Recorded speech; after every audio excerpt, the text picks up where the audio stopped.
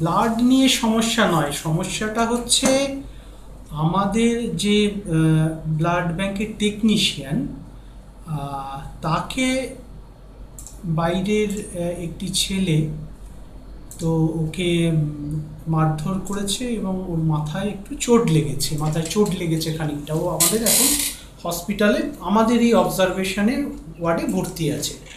ঘটনাটা হয়েছিল হচ্ছে তার আগের দিন। এটা অবশ্য পেশেন্ট পার্টি আমাদের কাছে একটি পেশেন্ট পার্টি একটা ভিডিও ক্লিপিংস পাওয়া গেছে। তো সে বলছিল, ওই যে ছেলেটি যা- যে কালকে ঘটনাটা ঘটিয়েছে, সে একটি পেশেন্ট পার্টির কাছ থেকে ব্লাডের জন্য টাকা চেয়েছিল। মানে ব্লাড পাইয়ে দেওয়ার ব্যাপারে।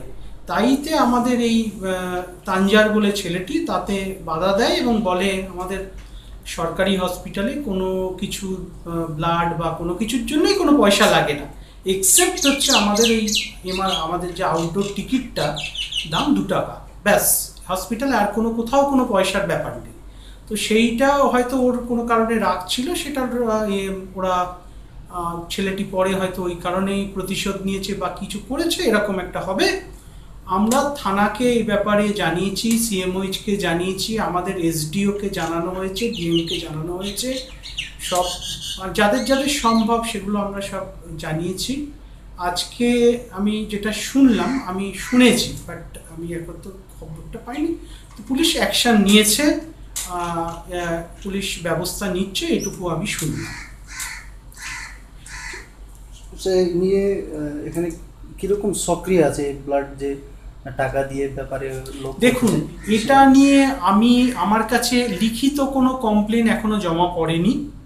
আমরা সবসময় ব্যাপারটা দেখার চেষ্টা করি ব্যাপারটা যাতে স্বচ্ছ থাকে।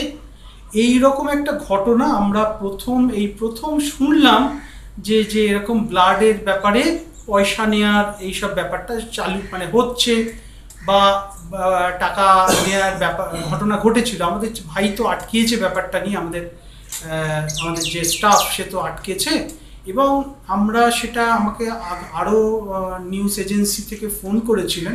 আমি তাদের বলেছি, আপনারা একটুখানি সক্রিয়ভাবে এটা জানার চেষ্টা করুন। আমাদের পক্ষে জানাটা একটু অসুবিধে। আপনারা যদি বাইরে থেকে ব্যাপারটা জানতে চেষ্টা করেন যে কেরা, কারা সক্রিয়, কীভাবে টাকা নেয়, কোথায় টাকাটা লেনদেন হয়, এটা আমরা খুব সহজে মানে আমার পক্ষে অন্তত, সহজে বার করার থেকে আপনারা আউট বাইরে থেকে এটা অনেক তাড়াতাড়ি খবর পেতে পারেন। এবং সেটা দিয়ে যদি আমাদের একটু হেল্প করেন, আমরা সেই মতো অ্যাকশান নিতে মানে অ্যাকশানটা নেব।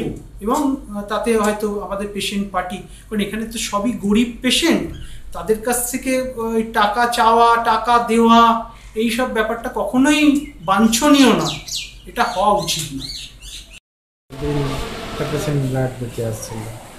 আমাদের যেহেতু ব্লাড স্টক কম থাকে তাই ফার্স্ট ব্লাডটা ফ্রিতে দেওয়া হয়, তারপরে ব্লাডের জন্য ডোনার আনতে বলা হয়, ঠিক আছে? তো ওনাকে ঠিক কথা মতো ডোনার আনতে বলা হয়েছিল, কিন্তু উনি বলছিল ডোনার আনতে পারবে না। সঙ্গে একজন দালাল ছিল, তাকে এমার্জেন্সির এখান থেকেই ধরেছে। পেপারটা নিয়ে গেছিল। তো আমি তো প্রথমে বুঝতে পারিনি যে দালাল, আমি ভাবছিলাম পেশেন্ট পার্টি তো যেহেতু পার্ট- পার্টিটা পেশেন্টটা মুসলিম ছিল ঠিক আছে, মুসলিম নাম ছিল, তাই ডাউট হয়েছিল। ডাউট হওয়ার পর আমি গেটের কাছে দাঁড়িয়ে শুনছিলাম ডোনার আনার জন্য কি কথা বলছিল। ঠিক আছে, তো পার্টির কাছ থেকে দু হাজার টাকার বিনিময়ে একটা ডোনার এনে দেওয়ার কথা বলছিল। ঠিক আছে, এটাতে আমার প্রচুর রাগ হয়। আমি পার্টিকে বলেছিলাম ব্লাড আপনাকে ফ্রিতে দিয়ে দেবো, তবু দালালকে টাকা দেওয়ার দরকার নেই। ঠিক আছে, এই জন্য প্রচুর রাগ দেখিয়ে যায় দালালটা তর্ক করে ছেট দিয়েও যায় দেখে নেব। তারপরে সেদিনকে চলে যায় গালিগালাজ করে চলে যায় ঠিক আছে? আর কিছু করেননি কালকে যখন আমি বেরিয়েছি ব্লাড ব্যাঙ্ক থেকে তখন আমার করে অ্যাটাক করেছে। তখন দুটো পনেরো এরকম বাজে তারপর আমার কিছু মনে নেই। মাথায় চোট লেগেছে কোমরে লেগেছে হাতে। তুমি কি তাদেরকে চেনো? যে তাকে চেনো? CC camera.